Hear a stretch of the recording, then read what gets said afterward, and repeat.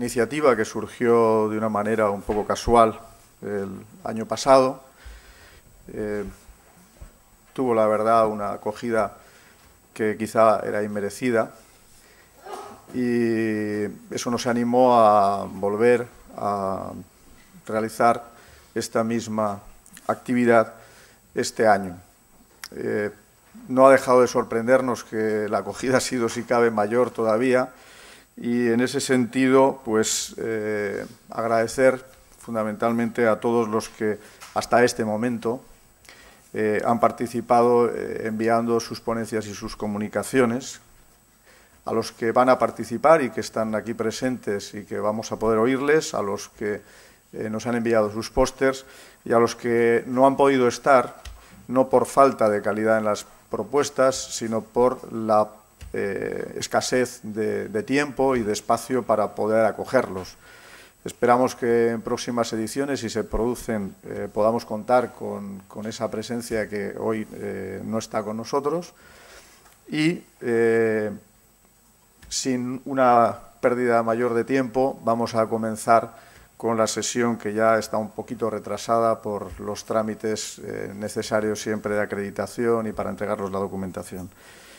Eh, tenemos en esta primera sesión a Pilar Garrido, tenemos también a Servando Álvarez, que no sé por dónde se nos ha... Ah, está por aquí, por esta otra esquina, y a Francis Salar, que van a tocar temas eh, prácticamente de los distintos temas que manejamos en estas jornadas, que son, eh, por una parte, el ámbito de la sostenibilidad en general en, este campo que nos, que nos atañe y, por otra parte, eh, la eficiencia energética, que es uno de los caballos de batalla más importantes en el momento que nos toca vivir.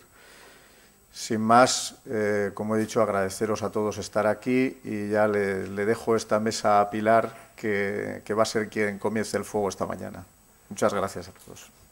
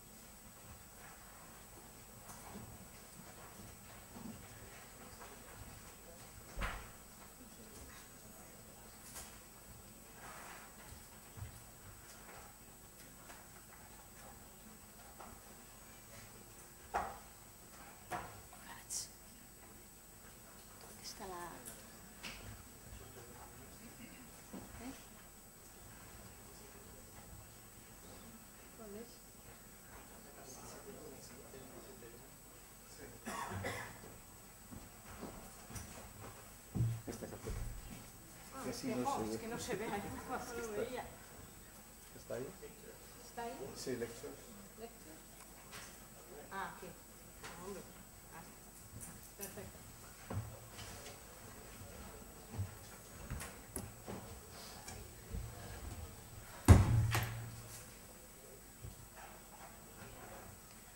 Bien, pues buenos días a todos. Eh, antes de empezar con, mi exposición, eh, sí quería rápidamente dar las gracias tanto al director de, las jornadas, a Rufino Hernández, como a todo el Grupo Caviar, pues bueno, por la posibilidad de estar aquí y de hacer la, exposición que seguidamente voy a, voy a hacer.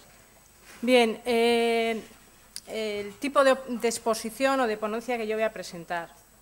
En este caso va a ser una ponencia de carácter general que va a tratar de, resaltar o de establecer cuáles son los elementos fundamentales que giran alrededor del desarrollo urbano y de las políticas de vivienda.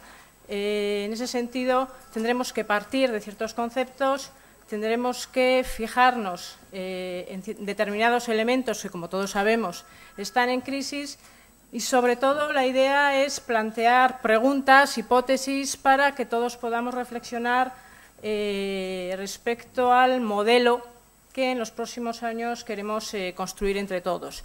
Eh, yo pertenezco a un grupo multidisciplinar donde afrontamos, vamos a decir, la política residencial desde un punto de vista pues, de las diferentes dimensiones que creo que tiene la, vivienda y tiene el desarrollo urbano y, por lo tanto, yo creo que eso todo va a quedar eh, patente en esta, en esta ponencia. Por eso, bueno, es no, no un aviso, es decir, no soy arquitecta, soy jurista, pero a la vez incorporamos pues, todas aquellas dimensiones que creemos que son necesarias para afrontar los retos que, como todos sabemos, son muy importantes para avanzar en, vamos a decir, un nuevo modelo urbano. Sí. Bien.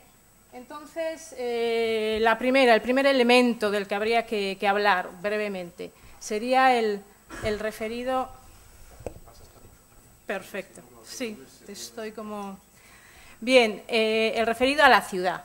Eh, la configuración de la ciudad, pongo ahí, el modelo urbano responde principalmente a la ideología imperante en cada momento. Bien, es una eh, frase que resulta relativamente sencilla, es decir, cuando hablamos de ciudad estamos hablando de la organización espacial del modelo social ideológico casi imperante.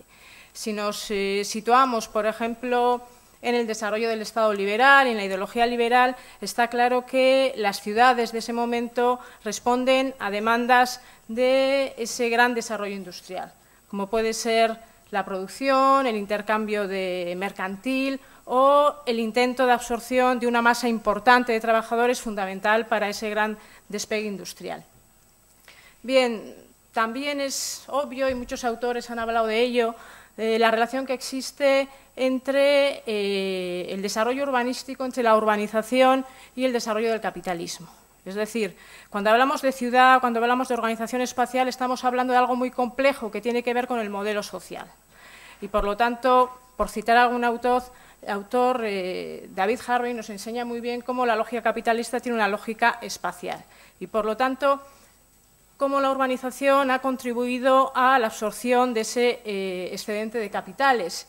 Y si bien esto es así, y en cierta manera ha conseguido un desarrollo del, modelo capitalista importante, del cual quizás todos nos hemos beneficiado en parte, también ha traído un, digamos, un efecto eh, bastante dañino que todos conocemos. Es decir, algunos hablan de la desposesión de las masas, de las personas, del derecho a la ciudad, del que ya hablaba Lefebvre. Es decir, se ha, dado todo un proceso de, privatización donde las personas, donde los habitantes, donde eh, todos quizás hemos dejado un poco de ser dueños de, de la ciudad. Bien, en ese sentido, si nos situamos ya en el, siglo XXI, nos encontramos eh, con definiciones eh, de la ciudad que son muy parecidas. Yo he escogido la de Jordi Borja, podría ser otra cualquiera, y dice lo siguiente. La ciudad se ha convertido en un conjunto de enclaves, centros negocios, barrios especializados y zonas marginales que provocan la pérdida de la ciudad como espacio cívico, como espacio de convivencia, en el nombre del reclamo de una ciudad competitiva.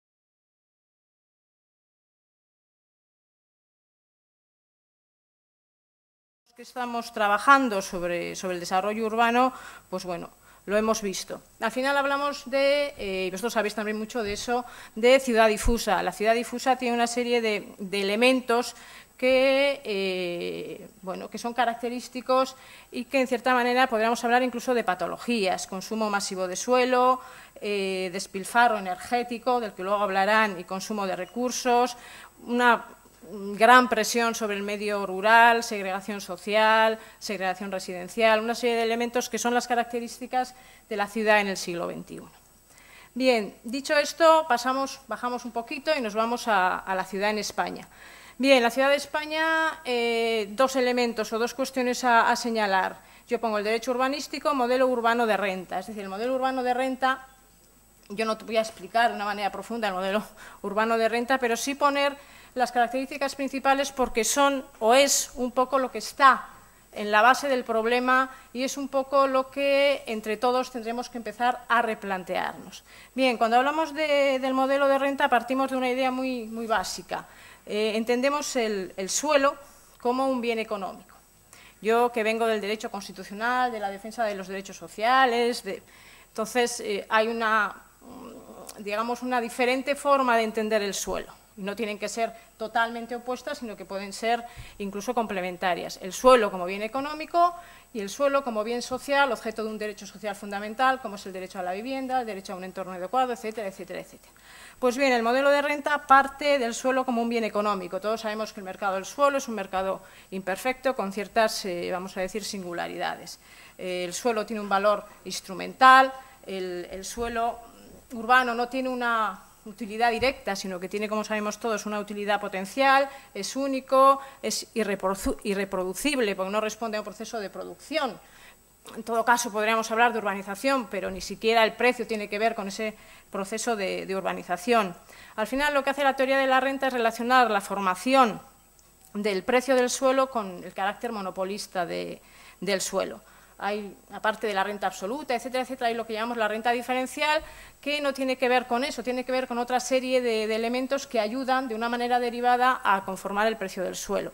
Y en eso estamos hablando eh, del aprovechamiento, de los usos, de la localización, que contribuyen a eh, conformar ese último precio del suelo. Entre las características que se atribuye a, a la renta o al modelo de renta, pues bueno, casi siempre son los mismos, ¿no? Se hablan de, monopolista, es monopolista, algunos hablan de parasitario en el sentido de que no necesita inversión, de opacidad, es un mercado poco transparente y la idea de mercado especulativo que, como dicen muchos autores que tradicionalmente se han encargado de, de trabajar sobre todo este eh, desarrollo urbanístico español es que el modelo español es intrínsecamente especulativo. Me da igual que hablemos de la ley del 56, del 92, del 98, incluso de la del 2007, pero bueno, luego hablaremos de ello. Con lo cual, el precio del suelo es un precio derivado del precio final que tendrá en el mercado esos productos inmobiliarios. Y ahí, pues, eh, el beneficio eh, se apropia de forma anticipada, como que hablamos de, plusvalías. Por otro lado, se incorporan las expectativas, es decir, cada uno de los actores, porque hay diferentes actores que van participando en todo ese proceso, algunos públicos y otros privados, pues van apropiándose anticipadamente de esas expectativas al alza, sobre todo en momentos al alza, cuando, como ha pasado ahora, eso no coincide, las expectativas no coinciden con, con la realidad, pues se producen determinadas, como hemos visto, disfuncionalidades. Bien, pero el modelo de renta es el modelo que nació, no sé si nació, por lo menos se solidificó en el 56 y que hemos ido arrastrando de alguna manera. Luego volveremos. Eh, en los últimos años, pongo ahí, se apuesta por el desarrollo urbano, es decir, el gran desarrollismo del Estado español, el gran boom inmobiliario, pues bueno, no hace falta explicarlo porque todos lo conocemos. Eh, sí que es verdad y no tenemos que olvidar de que desde hace años ya hay muchas organizaciones internacionales, tanto de las Naciones Unidas como de la propia Europa. Yo cito, eh, cito ahí el, informe Auken, que es del, Consejo, del Parlamento Europeo, perdón, sobre el impacto de la urbanización extensiva en España sobre los derechos individuales, sobre el medio ambiente, etcétera, etcétera. Pues bien, eh, si leemos, eh, y será del, si no recuerdo mal, del 99, es decir, si leemos ese informe ya nos avisa de muchas cosas. Yo he cogido un párrafo que igual es un poco efectista, pero bueno, yo creo que nos explica muy bien lo, que estaba pasando ya entonces en España y nos estaban avisando, es decir, pero también el relator de Naciones Unidas, el Banco de España, es decir, hay un montón de organismos internacionales que avisaban de alguna manera de lo que podía pasar. Bien, si queréis, eh, leyendo rápidamente ese, párrafo, dice, considerando que las islas y las zonas costeras mediterráneas en España han sufrido una destrucción masiva en la última década, eh, ya que el cemento y el hormigón han saturado estas regiones de tal forma que han afectado solo, eh, no solo al frágil medio ambiente costero, sino también tal, tal, tal, tal, sino la actividad social y cultural de muchas zonas, lo que constituye una pérdida trágica e irreparable de su identidad y legado culturales, así como de su integridad medioambiental. Y todo ello principalmente por la avaricia y la conducta especulativa de algunas autoridades locales y miembros del sector de la construcción que han conseguido sacar beneficios masivos sobre esas actividades. Es decir, hemos tenido la, combinación perfecta, es decir, un modelo de renta que sí es verdad que nos funcionó durante determinado momento porque el sector privado ayudaba a que, a que funcionara, pero entró el neoliberalismo, entró la globalización, los poderes públicos nos subieron controlar y bueno, pues tenemos lo que tenemos, un poco así dicho rápidamente. Bien, vamos a bajar un poco más. Eh, cambios y transformaciones en la ciudad. Luego España y las ciudades en España han evolucionado eh, enormemente en estos últimos 20 años. Eh, yo hablo ahí de cambios económicos, de cambios demográficos y de cambios sociales. Bien, eh, los grandes cambios yo creo que han estado empujados principalmente, fundamentalmente, por el crecimiento económico. Es decir, las actividades eh, económicas eh, han variado sustancialmente en los, últimos años. Hemos tenido un gran desarrollo del sector eh, servicios, servicios de apoyo a la producción, servicios financieros, servicios terciarios, es decir, un gran sector servicios y, por otro lado, se ha dado un proceso de desmantelamiento industrial. Por lo tanto, eso ha cambiado, digamos, el reparto dentro de las actividades económicas del, país. Los cambios demográficos que todos conocemos, yo cito alguno de ellos, aumento de la diversidad de hogares. Vosotros, como arquitectos o, personas, sabéis que hoy en día no tenemos la, familia típica y habitual, sino que hemos evolucionado, evolucionado hacia una diversidad importante de hogares, desde familias monoparentales, mayores, jóvenes, y a eso le sumamos el aumento de, los extranjeros o de los emigrantes que también conforman otro tipo de, hogares. Con lo cual, diversidad de hogares por un lado y algo que a lo que no estamos acostumbrados, porque en España había habido muy poca emigración y ahora tenemos bueno, pues un monto, un elemento importante que forma parte de nuestras eh, ciudades, aportando diversidad cultural, eh, religiosa, etcétera, etcétera. Y luego cambios sociales. Se habla siempre del gran aumento de la desigualdad. Eh, social. Bien, eso está relacionado un poco, y yo lo oía el otro día a uno de los sociólogos que yo creo que sabe más de esto, que es Jesús Leal, y hablaba de, ya con gráficos y con datos concretos, del gran aumento de la clase media y de la clase alta. Es decir, la clase media alta, que está un poco vinculada a, esos cambios que ha habido en el sector eh, industrial, de actividad económica, y por otro lado, eh, la reducción de, la clase proletaria, que tiene que ver con el desmantelamiento industrial, que estaba vinculada a esa clase obrera tradicional. Por lo tanto, eh, gran desigualdad, mucha clase media alta y, por lo tanto, menos situación peor de los que peor estaban. Al final eso no es más que un reflejo de la sociedad porfordista que todos conocemos, que algunos hablan de sociedad dual, es decir, hay dos partes, los que tienen mucho, mucho y los que cada vez tienen menos. Pues bien, eso también lo estudiaba concretamente en, Madrid y en Barcelona, con gráficos muy concretos y desde luego el panorama era, era clarísimo. Luego hablaba él también de las diferencias por edad, que le daba mucha importancia, y de un elemento que a mí me llamó mucho la atención, que, es la de las diferencias por, patrimonio. Yo creo que es un cambio muy importante porque impacta mucho sobre el tipo de sociedad que estábamos creando entre todos y el que tenemos ahora. Es decir, pasamos, dicho de una manera muy sencilla, de una sociedad meritocrática a una sociedad patrimonialista. ¿Qué significa esto? Que las diferencias ya no son por renta, sino son por matrimonio, por, matrimonio, no, por patrimonio. ¿Sí? Es decir, mientras más patrimonio tienes, tienes un mejor estatus, una mejor situación. Por lo tanto, volvemos de una sociedad meritocrática que es producto del desarrollo del Estado eh, social a una sociedad que podemos situar casi en el siglo XIX, donde la situación en la sociedad dependía del patrimonio, es decir, no tanto de la renta, sino de, la propiedad, en este caso patrimonial. Bien, eh, todo esto produce efectos sobre el espacio y produce eh, nuevos desafíos para los poderes públicos y para todos los que estamos en este, en este mundo. Eh, cuando hablamos de, que hay más o ha habido un despegue de esa clase media y sobre todo de la clase alta, estamos hablando de que ese grupo social impacta sobre, sobre la, ciudad concretamente, con determinadas exigencias, exigencias de localización, quieren centralidad y exigencia de servicios. También comentaba en esa, en esa, en esa conferencia, no sé exactamente, bueno, si era Jesús Leal o Ezquiaga, que es otro, yo creo, de los personajes importantes, profesores importantes, y decía que eh, también hablaba de Madrid, hablaba de Barcelona y hablaba pues, de los servicios que eh, demandaban ese tipo de personas. ¿no? Ese tipo de personas decía que los centros de las ciudades se han llenado de gimnasios, por ejemplo, y que los niños han desaparecido del centro de las ciudades. Es decir, esos son eh, elementos importantes que los poderes públicos tendrán que tener en cuenta, por un lado.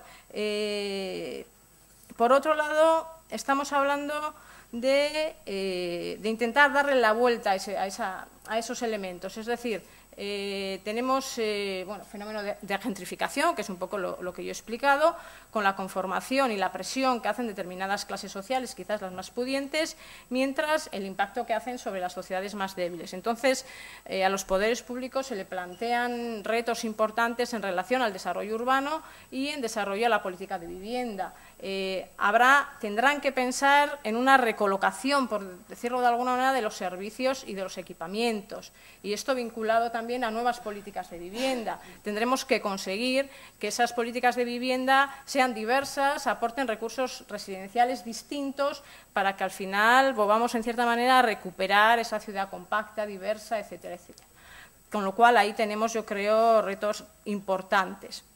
Eh, riesgos. Hablaba ahí de desaparición de los derechos de los ciudadanos. La ciudad ha sido el marco de vida, el espacio donde se hacía posible el ejercicio de las libertades vinculadas a los derechos, a los derechos reconocidos formalmente, ya sea en la Constitución o ya sean en diferentes normas, estatutos de autonomía, incluso leyes de vivienda.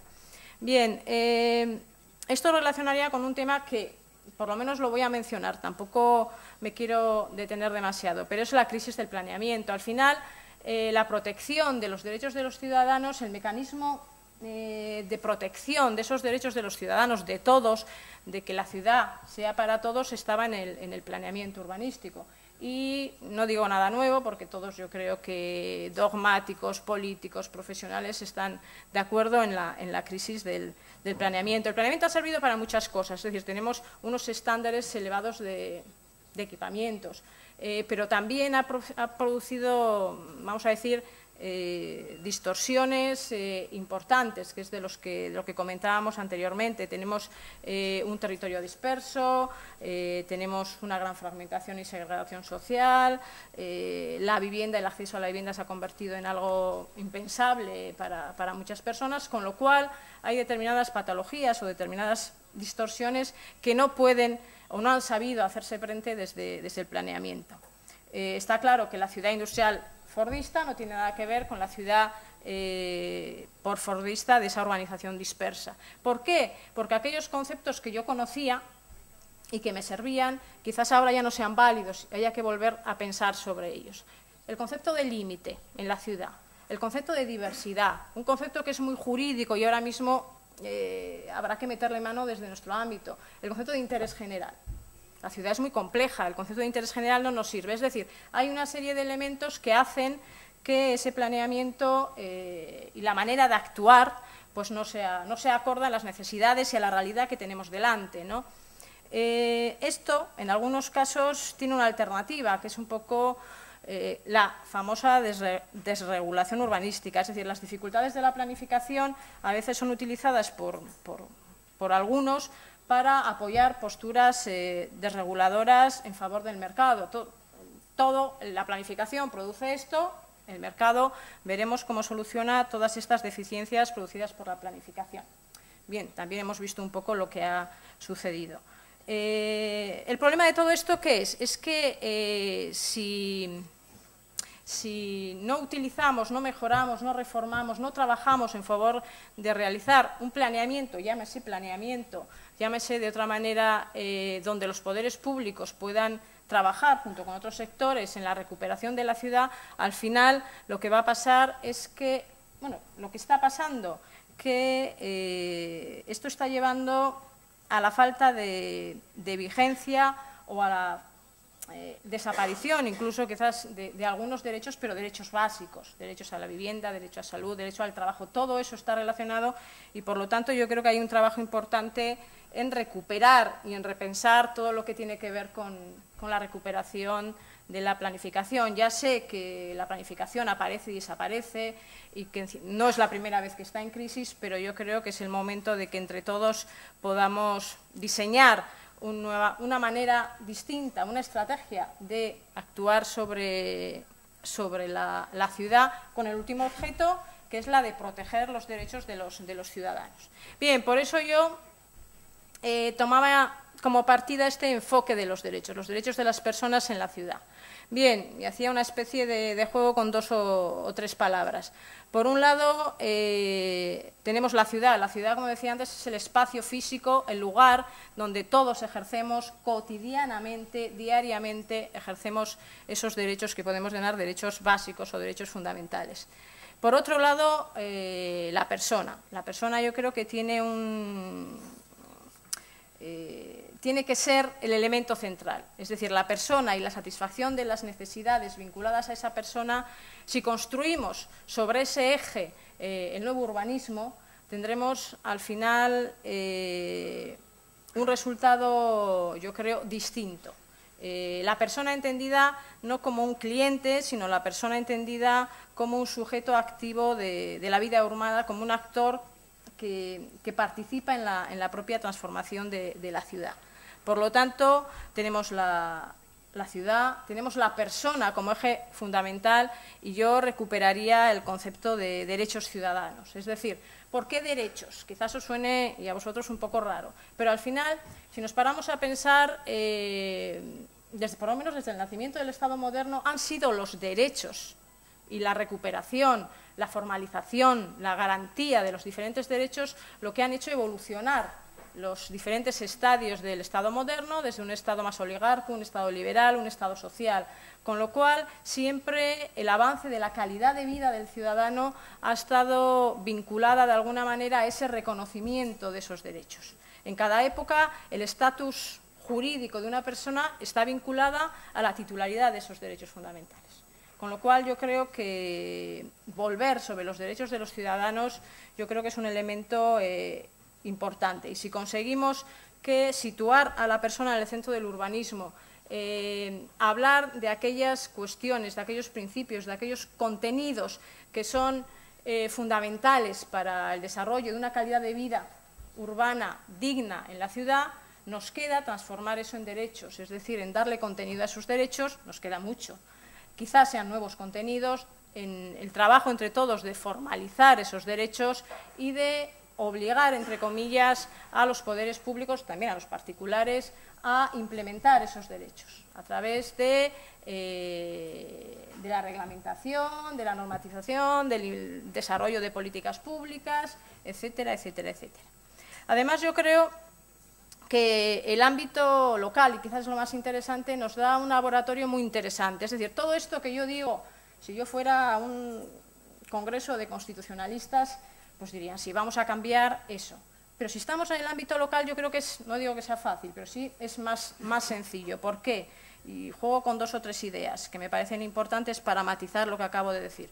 Primero yo hablaba de persona, no me gusta hablar de ciudadano, porque bueno, si os pregunta cualquiera de vosotros qué entendéis por ciudadano, pues podéis dar una, definición que puede coincidir con el de eh, persona o con el de habitante de una ciudad. Pero yo como jurista, ciudadano es ciudadanía, ciudadanía es titularidad de derechos y eso me lleva a que haya personas con derechos y a personas sin derechos. Por eso hablar de personas o hablar de habitantes de la ciudad, eh, si queremos construir este nuevo urbanismo tenemos que partir, sobre todo en el ámbito local, de cómo hacemos para no dejar eh, personas invisibles, de los que hablan algunos, sin derechos. Por lo tanto, eso se ha hecho en el ámbito local, es decir, aquellos derechos que están proclamados, como sabéis, en la Constitución, pues bueno, eh, y formalmente incluso es difícil aplicarlos a determinadas personas, vamos a hablar de los sin papeles, en el ámbito local se ha conseguido, a través del empadronamiento, a través de otros mecanismos, hemos conseguido ir tapando aquellos huecos que dejaban, en cierta manera, pues los derechos más, más formales, acogidos en, textos más, pues bueno, más importantes, por decirlo de una manera sencilla.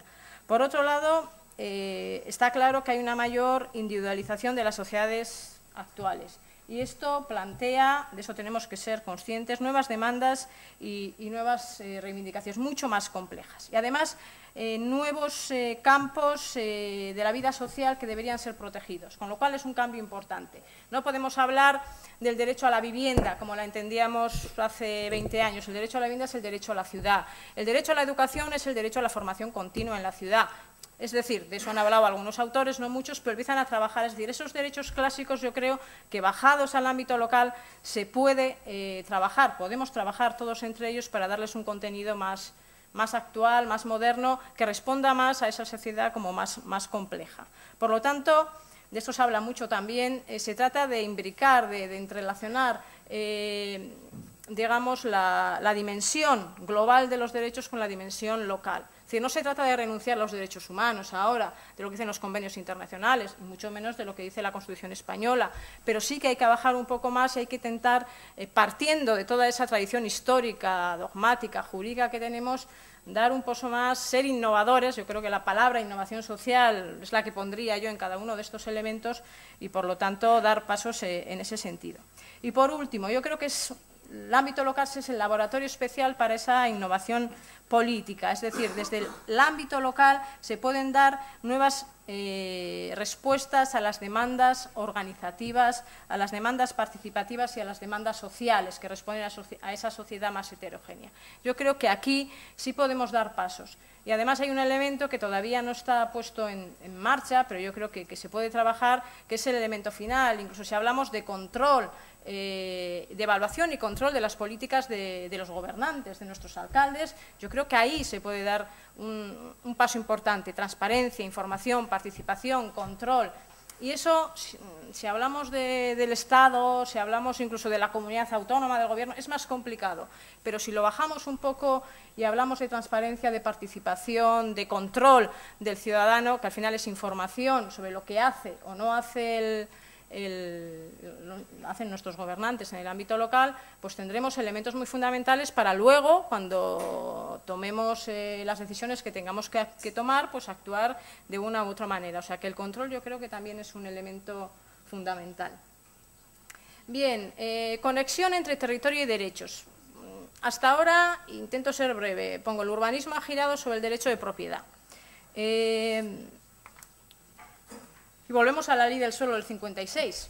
Eh, nos encontramos que en un momento determinado es un hito importante, con todo el valor que tiene, pero si, si, yo recomiendo, no sé, igual lo habéis hecho, pero si os leéis el preámbulo de la, de la Constitución, uy, Constitución, perdón, de la ley del suelo del 56, es que es muy clara. Es decir, Dicen textualmente, yo quiero hacer esto, quiero hacer lo que hacen los holandeses, los ingleses, pero no puedo. ¿Por qué no puedo? Porque no tengo recursos económicos y porque mi administración pública, los técnicos que están en ese momento en la administración pública, no tienen capacidad para poder llevar a cabo de manera eficaz ese desarrollo urbano. Con lo cual, ¿eso qué hace? Hace que eh, el sector, el sector privado, sea el sector predominante. ¿Por qué? Porque es el que en ese momento ayuda, ayuda a ese desarrollo urbano.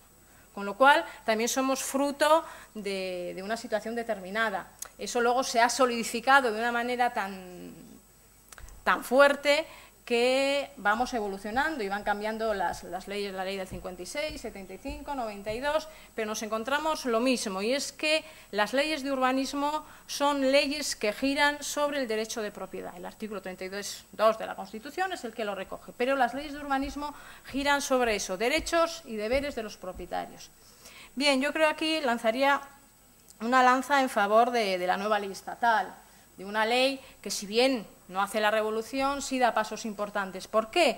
Porque incorpora la óptica, es decir, ya no solo tiene en cuenta al propietario, los derechos, los deberes de los propietarios, sino que tiene en cuenta la garantía de los derechos y de las necesidades del resto de los ciudadanos. Como antes hemos visto, o como veremos también un poquito más adelante, eh, la ordenación del territorio, el diseño de la organización del territorio está directamente vinculado al disfrute o no de esos derechos por los ciudadanos. Con lo cual, eso aparece ya en la ley del 2007, en el texto refundido del, 2008. Por lo tanto, el Estado, desde su posición y desde sus competencias, desde lo que puede hacer, lo que establece es un estatus eh, mínimo, lo que nosotros llamamos, eh, desarrolla el artículo 149.1.1 de la Constitución, que permite al Estado actuar para que todos los ciudadanos tengamos un mínimo de igualdad en el disfrute de los derechos fundamentales. Por lo tanto, establece esa base para eh, que podamos hacerlo. Y está el derecho de propiedad, pero también eh, establece otra serie de, derechos que, de manera rápida, para que os hagáis una idea, os los comento. Dices que el preámbulo, volvemos a los preámbulos de las leyes del suelo, pero el preámbulo de la ley, de la nueva ley, de la ley vigente del 2008, es muy importante. Dice que viene a decir un poco lo que, lo que yo he dicho. Esta ley abandona el sesgo con el que hasta ahora el legislador estatal venía abordando el Estatuto de los Derechos Subjetivos afectados por el urbanismo. Una tradición que ha pesado sin duda, pues ha provocado la simplista identificación de tales derechos y deberes con los de la propiedad. Pero los derechos constitucionales afectados son también otros, como el derecho de participación ciudadana en los asuntos públicos, el de libre empresa, el derecho a un medio ambiente adecuado y, sobre todo, el derecho a una vivienda digna y, asimismo, adecuada, al que la propia Constitución vincula directamente a una regulación de los usos del suelo en el artículo 47. Luego, más allá de, regular las condiciones básicas de igualdad de la propiedad de los terrenos, que es lo que hacía hasta ahora, hay que tener presente que la ciudad es el medio en el que se desenvuelve la vida cívica y, por ende, que deben reconocerse a sí mismos los derechos mínimos de libertad de participación y de prestación de los ciudadanos en relación con el urbanismo y con su medio, tanto rural como urbano. Es decir, es muy claro en su preámbulo. Y esto está desarrollado en una serie de, artículos, en los primeros artículos, donde yo destacaría la vinculación que ha sido uno de, eh, de, los problemas también de nuestro desarrollo urbano, la falta de comunicación entre desarrollo urbano y política de vivienda. Aquí la reivindica y se dan algunos pasos en, esa, en ese camino. Entonces, eh, lo que nos viene a decir es que, aparte del derecho de propiedad, existen otros derechos que el legislador debe de proteger, disfrutar de una vivienda digna y adecuada y accesible, acceder en condiciones no discriminatorias a los equipamientos colectivos abiertos al uso público, acceder a la información, ser informados, ejercer la acción pública, participar efectivamente en procedimientos de elaboración, etcétera, etcétera, etcétera. Una serie de derechos que son derechos de los ciudadanos y que eh, el legislador, el poder público, tendrá que tener en cuenta a la hora de diseñar esa ordenación territorial. Bien, eh, vinculación entre derechos constitucionales y el derecho a la vida en el espacio público. Sobre esto yo creo que no hay mucho que, decir. Eh, lo dice el propio legislador estatal y está claro que el ejercicio de muchos de nuestros derechos tienen que están, tienen no, están relacionados con con esa organización del espacio social, pero muchos más de los que penséis. Es decir, si hablamos de, derechos de libertad, que decimos nosotros libertad de residencia, derecho a la intimidad, eh, libertad religiosa, hay muchos autores, bueno, muchos no miento, hay algunos autores, algunos catalanes que han empezado a trabajar entre la relación entre la ordenación territorial y el urbanismo y eh, la segregación eh, escolar, por ejemplo, o la libertad religiosa, es decir, derechos que antes no vinculábamos, porque el derecho a la vivienda siempre lo hemos tenido en la cabeza, pero otros derechos que no vinculábamos a esa ordenación territorial están poniéndose encima de la mesa. Si hablamos de derechos prestacionales, pues más de lo mismo, eh, derecho al trabajo, derecho a la salud, etcétera, etcétera, todos ellos están vinculados con, ese, con esa organización del espacio. Al final, ¿qué derechos, qué contenidos? Yo lo reconducía un poco a un término que también yo creo que todos conocemos, que es el derecho a la ciudad. El derecho a la ciudad por simplificar, es decir, entendiendo el derecho a la ciudad como un concepto integrador perdón, de los derechos de los eh, ciudadanos. Es lo que al final es un poco el paraguas debajo del cual se sitúan todos aquellos derechos necesarios para ejercer una ciudadanía plena es decir, para poder disfrutar de esa calidad de vida, de esa vida digna. Entonces, derecho a la intimidad, derecho a libertad de residencia, derecho a la igualdad, que yo creo es, eh, de oportunidades, que es fundamental, derecho a la vivienda, etcétera, etcétera. Eh, esto tiene un elemento importante, una idea importante, y es que el derecho a la ciudad acaba con algo sobre lo que hemos discutido mucho los constitucionalistas y es los departamentos estanco de los derechos. Tenemos derechos civiles, tenemos derechos políticos, tenemos derechos sociales. Bien, ya desde hace tiempo la mayoría de los autores dicen que no hay diferencias, no podemos hacer diferencias entre derechos. Difícilmente podemos eh, disfrutar de las libertades públicas si no tenemos las condiciones materiales necesarias. Es algo que ahora es obvio, pero que ha costado mucho. Y el derecho a la ciudad rompe, rompe esa, esa tendencia que tenemos a, establecer departamentos estancos, eh, incluso, una anotación, eh, nosotros discutimos mucho sobre eh, qué son y qué no son derechos fundamentales. El derecho a la intimidad es un derecho fundamental, el derecho a la libertad de expresión es un derecho fundamental, el derecho a la vivienda es un derecho fundamental. Es decir, todavía hoy se escriben muchas páginas sobre eso, pero bueno, vamos evolucionando.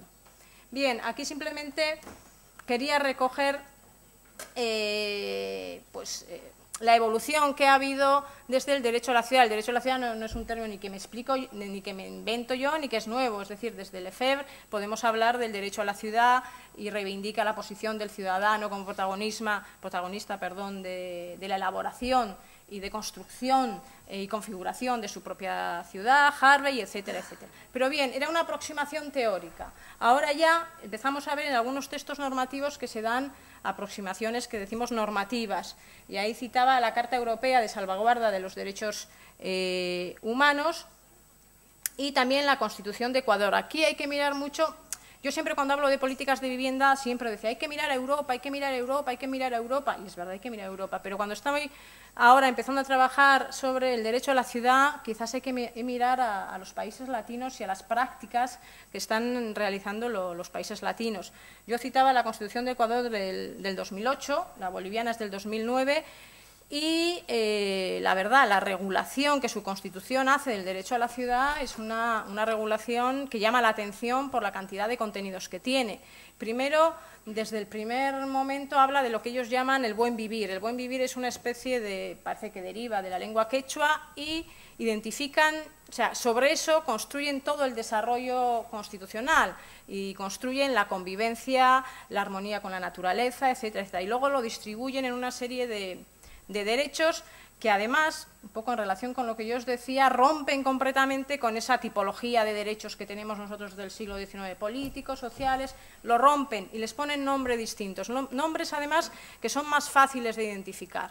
No hablan de derechos fundamentales, no, hablan de, derechos de libertad, por ejemplo, que es muy fácil, o derechos prestacionales. Entonces, hablan de una serie de, derechos que, bueno, son más fáciles de identificar y rompen un poco con, con lo que se decía.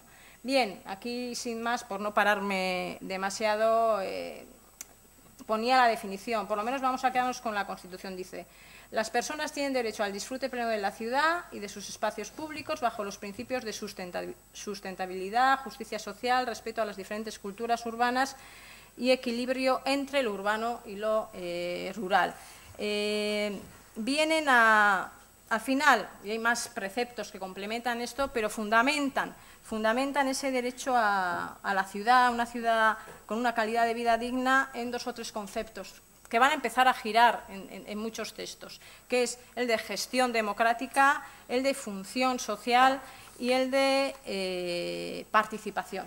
Es decir, a través de esos conceptos construyen y desarrollan toda una serie de, elementos que son muy novedosos. Luego llegarán hasta donde llegarán, se desarrollarán, no se desarrollarán. Estamos en un mundo distinto al nuestro, en el europeo, pero en principio las constituciones han dado un paso muy importante y han pasado de esa definición de todos los, en este caso España, los españoles tienen derecho a una vivienda digna y adecuada, como hacen en otros países europeos, a eh, entender que eso está inmerso en el derecho a la ciudad, que el derecho a la ciudad significa otras cosas, que hay una función social muy importante, que hay una gestión democrática, que hay participación, que eh, se le pide a los poderes públicos una serie de, estrategias que tengan en cuenta una serie de elementos, sobre todo los grupos vulnerables, bien, toda una serie de cosas que bueno, habrá que ver hasta dónde llegan, pero en principio resulta interesantes.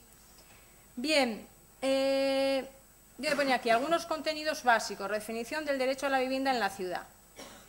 Bien, aquí yo ya me basaba en el, derecho a la ciudad, en el derecho a la vivienda, perdón, e intentaba traer el derecho a la vivienda al ámbito, al ámbito de la ciudad.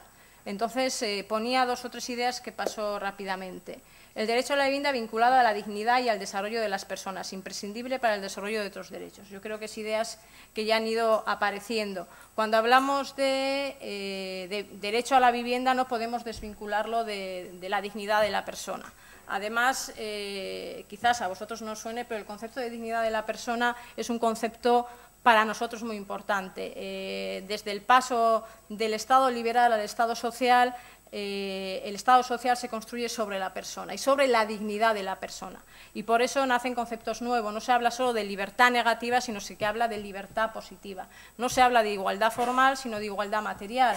¿Por qué? Porque se entienden que las condiciones en las que se desarrolla la vida de cada uno eh, son distintas y por lo tanto esa igualdad formal del siglo XIX no nos sirve y por lo tanto tenemos la discriminación positiva y tenemos una serie de actuaciones que son un, poco la piedra angular de, de nuestro Estado social. El derecho a la vivienda como acceso a un alojamiento adecuado. Bien, aquí yo creo que tenemos que estamos empezando a trabajar, pero hay muchas, muchas cosas todavía que, ver. Aquí se plantean como dos, mm, dos, ideas. Por un lado, cuando hablamos de, de acceso, estamos hablando de algo que en España se entiende de una manera muy, muy concreta. Cuando hablamos de acceso a la vivienda, estamos hablando de propiedad no solo en el, desde, desde, el mercado, desde el mercado libre de vivienda, sino también desde las políticas públicas de vivienda. Es decir, fundamentalmente se ha hecho vivienda de protección oficial eh, de acceso en propiedad, con lo cual quizás ha llegado el momento de que le demos una vuelta a esto. Es decir, al final eh, tenemos, la Constitución habla de acceso y de disfrute, con lo cual la propiedad no aparece por ningún lado. Y ahora, como todos sabemos también, las políticas públicas se están planteando diferentes maneras de acceso a, esa vivienda, ¿no? Eh, pero no solo desde el punto de vista de vivienda, de lo que conocemos como vivienda de protección oficial. Podríamos tener propiedad, podríamos tener alquiler, podríamos tener derecho de, superficie, derecho de superficie, cooperativismo, sino también estamos hablando de, un mercado privado donde existan otras fórmulas de acceso. Eso respecto al acceso. Respecto al alojamiento adecuado, estamos hablando de algo que seguro que vosotros sabéis mucho más. Eh, estamos hablando de, las tipologías de vivienda. Hemos dicho que tenemos diversidad de, familias y, por lo tanto, si creemos y vemos que eso es así, las tipologías de vivienda tendrán que ser distintas y, por lo tanto, ni siquiera viviendas, yo hablaría incluso de recursos residenciales, porque al final lo de vivienda es un concepto también que, bueno, tiene una definición, supongo que arquitectónica y también jurídica, y por lo tanto no tienen por qué ser viviendas. Puede haber diferentes recursos residenciales que sirvan para eh, determinadas personas en determinadas eh, etapas eh, vitales, con lo cual hay que hacer también toda una evolución. Cuando se habla también de alojamiento adecuado, hay un elemento muy importante, es el, algo que, seguramente saldrá más adelante, que estamos hablando de que las viviendas tienen que cumplir una serie de condiciones de calidad y de, confort. Y yo creo que aquí uno de los elementos principales, eh, sobre el que luego nos, hablará el próximo ponente, es la eficiencia energética. Es decir, es uno de los elementos principales. Cuando hablamos de confort, cuando hablamos de habitabilidad, cuando hablamos hay que añadir, hay que dar un paso. Eh, en ese sentido, un paso que además al que nos eh, empuja la Unión Europea y, del que ya estamos dando algunas, tenemos algunos elementos incluso normativos, el código técnico, directivas europeas que hemos traspuesto y que nos permiten también eh, acomodar esos nuevos alojamientos a las nuevas exigencias de este mundo donde la eficiencia energética es uno de los elementos principales. Además, no solo eh, cuando hablamos de alojamiento adecuado no estamos hablando de nueva vivienda, sino que tenemos un parque residencial importante con unas condiciones en el País Vasco también determinadas y, por lo tanto, tenemos un trabajo por hacer también muy importante. Es decir, no se trata solo de que lo nuevo sea o cumpla unas condiciones determinadas, sino de que todo el parque, poco a poco, todo ese parque existente, seamos capaces de, adaptarlo. Bien, eh, medio ambiente, derecho a la vivienda y medio ambiente adecuado. Al final es eh, realizar un elemento o dar un contenido más complejo, si queréis, al derecho a la vivienda. El derecho a la vivienda, o el derecho a la vivienda, no, perdón, a la vivienda. La vivienda está eh, inmersa en un entorno, en un entorno determinado. Eh, ese entorno puede ser un entorno inmediato, y hablamos de instalaciones, de equipamientos, y hay un entorno más amplio eh, donde se engloba esa vivienda, que es eh, el ámbito urbano o, o la ciudad. Bien, para el cumplimiento de ese derecho a la vivienda hay que tener en cuenta también las condiciones de ese medio urbano. Y aquí hay elementos que empiezan ya a aparecer, incluso empiezan a estar regulados, como eh, aparecen conceptos como el de cohesión social y aparecen conceptos como el de eh, igualdad de oportunidades. Es decir, cohesión social, igualdad de oportunidades son conceptos que ya incluso desde el punto de vista normativo vamos asumiendo en el Estado español. Si damos un repaso por las últimas leyes de vivienda, la ley catalana sería la ley estrella, pero si las últimas leyes de vivienda, como la de Castilla-León o la Navarra, cuando definen eh, lo que es el derecho a la vivienda no hablan solo de unas condiciones de habitabilidad, etcétera, sino que se remiten a, eh, esas condiciones eh, del entorno necesarias para el cumplimiento del derecho a la vivienda. Por ejemplo, cogiendo, tenía unas cuantas, pero bueno, os voy a leer solo la ley de la Comunidad Autónoma de Navarra, es del 2010, y entre los principios que deben regir la intervención de las administraciones públicas, bueno, facilitar oferta, una oferta de vivienda adecuada a las necesidades reales, mejorar la calidad de las viviendas y de su entorno y, como elemento principal, promoción de la diversidad y de la cohesión social en los barrios y sectores residenciales de las ciudades y pueblos como garantía de una adecuada integración urbana y como método de prevención de fenómenos de segregación, exclusión o discriminación por razones socioeconómicas, demográficas, culturales, religiosas, de discapacidad o de cualquier otra índole aparece muy claro. Eh, ya tenemos todos en la cabeza un tema estrella, que aquí no es tema estrella, pero sí en otros sitios, la de la mezcla social. Si la mezcla social eh, es el tema estrella en Francia, es el tema estrella en, Inglaterra. ¿Por qué?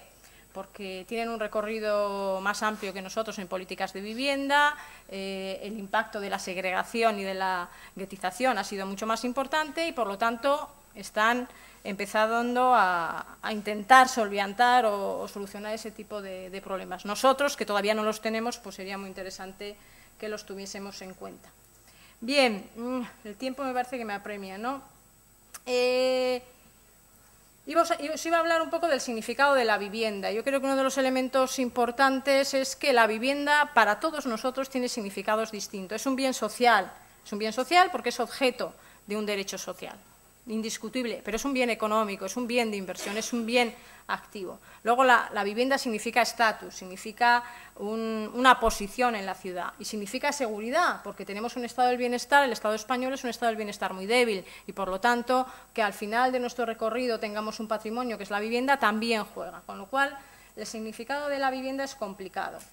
Hay un marco constitucional donde se establece, el elemento principal es que no es un derecho subjetivo, ¿Qué significa eso de que no es un derecho subjetivo? Significa de que no es a ver cómo lo explico de manera sencilla, significa que es un derecho que nosotros no podemos exigir ni, ni, a la Administración ni a los poderes públicos. Como también sabéis, es una de las cosas que está en debate. El anteproyecto de ley de vivienda pues bueno, intenta acercarse a ese derecho subjetivo. La ley de vivienda, aprobada hace unos meses en Castilla-La Mancha, establece el derecho a la vivienda como un derecho subjetivo, con unos contenidos que habría que discutir pero bueno, es, un tema que, está ahí. El marco normativo es muy complejo, no voy a entrar en él, pero desde tenemos la legislación de suelo estatal, de las 17 comunidades autónomas, los planes estatales, los planes autonómicos y luego una serie de legislación concurrente que hace que actuar sobre la vivienda y sobre el derecho a la vivienda y sobre el derecho a la ciudad pues sea más bien complicado. Esto sí me interesa, derecho a la vivienda. Eh, el derecho a la vivienda eh, yo lo entiendo como la obligación que tienen eh, los poderes públicos de crear, pongo ahí, un mercado inmobiliario justo, equilibrado y eficiente. Es decir, al final, y esta es la gran pregunta, para mí, eh, ¿el derecho a la vivienda qué significa? ¿Que determinadas personas con escasos recursos tengan acceso a una vivienda pública? Bueno, muchos de vosotros pensaréis quizás que sí yo creo que esa no es la cuestión, es decir, eso es lo que sería el derecho subjetivo. Hoy en día, hablar de derecho subjetivo de la vivienda en el Estado español, yo creo que es hacer un brindis al sol. ¿Por qué? ¿Qué es lo que deberíamos de hacer? Deberíamos de construir un mercado inmobiliario justo, equilibrado, eficiente, a través de la colaboración de los públicos con los privados. ¿Para qué? Para que todos podamos acceder a una vivienda, pero todos, los que tenemos recursos, menos recursos y más recursos.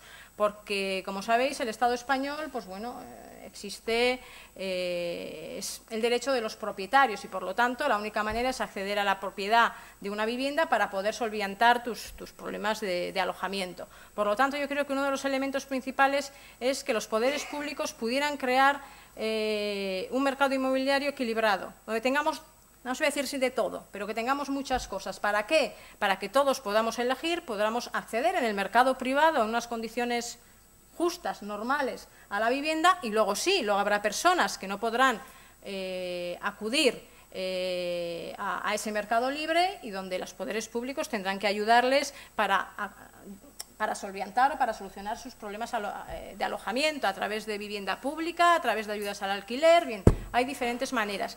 Pero hacerlo segundo sin hacerlo primero me parece dar un salto en el, el vacío.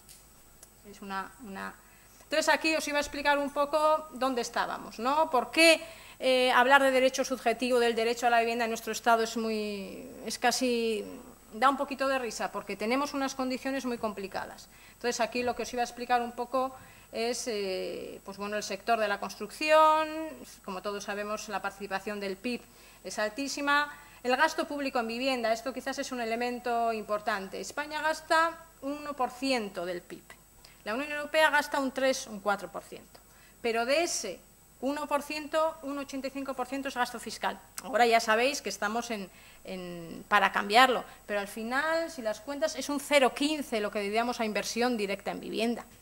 O sea, ¿cómo vamos a solucionar el problema de la vivienda con, con esto? Pues no. Bueno, luego es un mercado de vivienda pues totalmente desmadrado en los últimos años. La producción intensiva de vivienda, siempre se dice lo mismo, más que Alemania y Francia juntos. Yo cogido una cifra del 2006, ahí tenéis la cifra, 865.000 viviendas.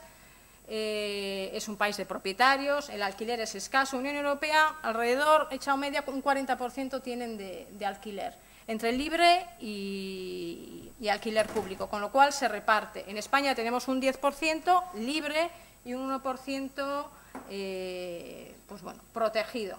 Luego, con el sector inmobiliario, el crédito, son cosas que todos conocemos. Esto que ha tenido efectos, incremento desorbitado del precio de la vivienda, alto endeudamiento familiar, consecuencias para los distintos grupos sociales, segregación espacial. ¿Cómo lo explicamos? Con ideas muy simples. Buena situación económica, las condiciones de los créditos hipotecarios muy favorables, despegue económico, bajos intereses, relajación de las exigencias y una idea que es muy importante, expectativa de aumento del precio de la vivienda. La vivienda nunca había bajado, nunca, eso era impensable, es decir, una especie de leyenda urbana que, desgraciadamente, pues bueno. Y los poderes públicos, pues bueno, todos ganaban, eh, apuestan por un modelo basado en ladrillo, desgrabaciones fiscales, no había límites al endeudamiento, eh, el urbanismo, todos nuestros puentes, soterramientos de no sé qué, se han pagado con, la vivienda y la vivienda pública escasa y en, en, propiedad. Bien, burbuja inmobiliaria. Aquí os había puesto pues, bueno, las definiciones, en este caso la famosa crisis niña que todos conocemos y Leopoldo Abadía, que explicaba de una manera muy sencillita cómo en Estados Unidos habían llegado a, a donde habían llegado. ¿no? con una serie de condiciones de, bajada de crédito, de eh, elevación del precio de la vivienda y, de, bueno, y del sector bancario que había inventado una manera de hacer frente a, eso, dando mucho más préstamos más arriesgados, con pocos intereses. Bien, era un poco esa la, idea.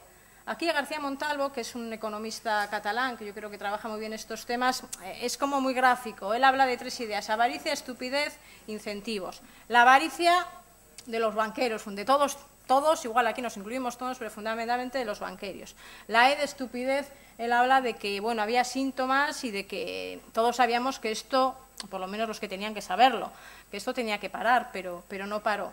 Y luego un tema que a mí me interesa, lo de los incentivos perversos. Incentivos, además, que, que nos llegan a todos. Primero, los compradores de vivienda. Todos cuando comprábamos, comprábamos caro, pero sabíamos que al cabo de un mes, dos, un año, pues iba a costar más el sistema bancario, los bonus, las agencias de calificación y el propio regulador. Es decir, también los poderes públicos han ganado mucho con, este recorrido. Las consecuencias han sido, como sabéis, mucho peores en España que en otros estados. ¿Por qué? Porque al final, eh, como aquí aparecía en un artículo del, New York Times, nos decía cómo, vale, en América están mal, vale, pero los españoles van a estar peor. Y os lo leo si queréis el diario tal, inmobiliarios y bancarios en España se parecen mucho a los de Estados Unidos, pero inciden que el caso español las ejecuciones hipotecarias son solo el comienzo de los problemas para los ciudadanos que no pueden pagar sus préstamos, ya que la severidad del sistema español hace que incluso después del embargo del inmueble los ciudadanos aún deban dinero al banco. Es una cosa que aparece habitualmente en la prensa. Bien, llegamos a un momento en el que bueno, hace crack el sistema y el problema es plantearnos a ver qué hacemos. Bien, aquí es donde empezarían los retos y donde aparecería lo interesante. Yo, he lanzado tres o cuatro ideas. Necesidad de fundamentar el urbanismo sobre nuevos principios, y yo enuncio alguno de ellos. Uso responsable y solidario del suelo, recuperación de la ciudad y de los espacios públicos como espacio de convivencia y de interacción social frente a la privatización, la actuación a través de la concertación, esto es muy importante, de colaboración, concertación tanto horizontal como vertical. Es decir, en el País Vasco, nosotros más, que tenemos más administraciones eh, encima, tenemos la local, la autonómica y la, y la foral, es necesario que haya una colaboración vertical, pero también horizontal de los diferentes departamentos, es decir, la actuación integral obligatoriamente conlleva eso y tener en cuenta la sociedad civil, transparencia, información, participación ciudadana y finalmente trabajar por la garantía del derecho a la ciudad, como ese concepto integrador de los derechos de los habitantes en, la ciudad. Entonces yo creo que se puede partir, es necesario primero un nuevo marco teórico que dé la vuelta a ese modelo de renta del que yo he hablado y para eso hay que empezar por repensar, por darle la vuelta a una serie de conceptos rehabilitación urbana, sostenibilidad, participación. Bien, ¿qué entendemos por, rehabilitación urbana?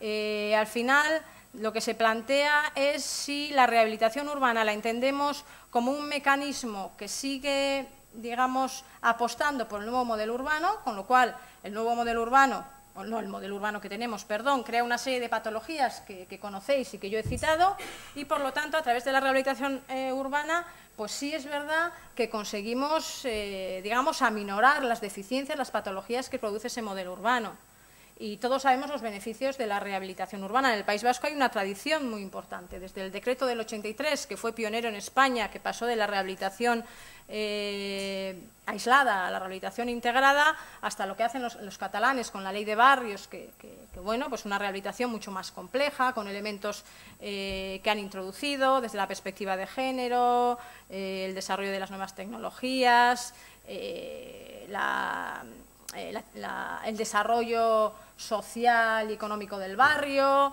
es decir, una serie de elementos que un poco ha sido la, ley estrella, pero al final nos encontramos con actuaciones puntuales sobre determinados, eh, vamos a decir, zonas de la ciudad, pero no entendemos la ciudad en su conjunto y no vamos al origen de esas patologías. Entonces yo creo que es necesario pensar en una rehabilitación urbana que sea una recuperación de la ciudad, pero de la ciudad, no de un barrio concreto. Luego habrá que establecer estrategias distintas y será muy complicado de hacer, pero parte de poner en cuestión el modelo urbano que produce esas patologías. Y puesta, eh, digamos, discusión sobre el modelo urbano, eh, discusión sobre el planeamiento, para que el planeamiento nos sirva no solo para actuar esos cuidados paliativos que muchas veces se utilizan, sino para realmente recuperar la ciudad como espacio complejo, porque si no al final creo yo que lo que estamos haciendo es eh, poner parches a algo y, yo creo que la crisis actual no es una crisis eh, coyuntural, es una crisis estructural. Por lo tanto, o tomamos medidas o no sé dónde vamos a, acabar. Es una, una opinión. Con lo cual, eh, ya sé que la rehabilitación urbana y la, rehabilitación urbana integral es muy importante porque tiene, y si encima la vinculamos a la eficiencia energética, tiene pues, beneficios ambientales, eh, económicos, porque sirve en estos momentos para paliar el gran desastre de, de la actividad de construcción. Es decir, todo eso lo sabemos, pero yo creo que debemos, vosotros que sois más jóvenes, hacer el esfuerzo de ir un poquito más allá. Bueno, lo de la sostenibilidad, yo es un tema que se me escapa y me da miedo hablar de él. Pero bueno, eh, nació en su momento, como sabéis, en los años 80, Naciones Unidas, desarrollo sostenible, y yo creo que el éxito del concepto de desarrollo sostenible es un poco, vamos a decir, la ambigüedad del término, porque nos gusta a todos. Cualquier desarrollo urbano, cualquiera, hecho con cualquier partido político, cualquier movimiento, con cualquier que tenga un poco de rehabilitación, un poco de sostenibilidad y un poco de participación, y nadie le pone ninguna pega. Es más, no pueden no tener eso. Entonces yo creo que hay que pensar en redefinir. Eh, el otro día también con José Manuel Naredo, que es uno de los expertos que trabaja, es un economista estos temas, iba en la misma dirección. Bueno, ya es verdad, sostenibilidad y participación, que es un elemento también sobre el que habría que darle una vuelta. No existe una teoría eh, política de la participación, sí de la representación, pero no de la participación. ¿Qué es participar? Eh, ¿Quién participa? ¿Qué legítimas tiene? Objetivos, bien. Son. Bien, entonces, y con esto ya lo hago en dos minutos. Eh, había, puesto algunas propuestas ya de nueva política de, vivienda. Eh, reformas de urgencia. Yo creo que el tema fundamental es, no sé si la dación de pago, lo concentro ahí para que tengáis la idea, pero tenemos que establecer límites al endeudamiento. Es decir, eso es urgente, eso es urgente. Y de hecho, esta semana leía que en el, Gobierno vasco, perdón, en Madrid, en el Congreso, en la Comisión de Vivienda, se ha creado una subcomisión sobre este tema. No sé dónde llegarán, yo sé que es muy complicado, pero es un problema muy urgente. Servicio público de vivienda. La vivienda no solo como bien económico, sino como bien social y, por lo tanto, elemento fundamental su función social, que es la prestación de un servicio público. La ley catalana lo ha introducido de una manera muy interesante. También es verdad que la semana pasada leía que el Gobierno catalán le iba a meter un poco mano, o sea que en principio igual volvemos hacia atrás. Y luego Nuevas demandas. Eh, aquí innovar es la clave, es decir, tenemos que pensar lo que decía anteriormente, en nuevas formas, fórmulas de resolver los problemas residenciales. No la vivienda de tres habitaciones para la familia, clásica, sino y aquí os ponía un poco, pues bueno, a Cirujeda, que todos conocéis, que juega siempre entre la legalidad y la ilegalidad y es un poco snob, pero bueno, es decir, nos sirve un poco para, inspirarnos, ¿no? Están unas casas, me parecen, casas, mm, perdón, no sé ni, pisitos tampoco, una serie de habitáculos que iban a, yo creo que iba en Basauri, las iba a hacer Cirujeda al final, pero bueno, eran alojamientos temporales para jóvenes, bien, todo es posible. Y luego la mirada sobre, sobre la ciudad. Y aquí, bueno, ponía una serie de condiciones que es el cambio de paradigma del crecimiento de la rehabilitación, anticipación, prevención, rehabilitación. Y aquí os iba a hablar un poco del plan estratégico. El Gobierno vasco ha dictado un plan estratégico 2010-2013 y le está intentando pues, bueno, poner eh, énfasis en, esa, eh, en ese trabajo de rehabilitación. ¿Ahora es cambio de paradigma o no es cambio de paradigma? Este es un poco... Y luego quería acabar con rehabilitación y eficiencia energética, que yo creo que es uno de los grandes temas a los que, entre todos, también los ciudadanos, desde que tenemos que adoptar una cultura del mantenimiento y también desde los poderes públicos, pues tienen que, intentar solucionarlo. Y con esto, perdón por el retraso, vale, gracias.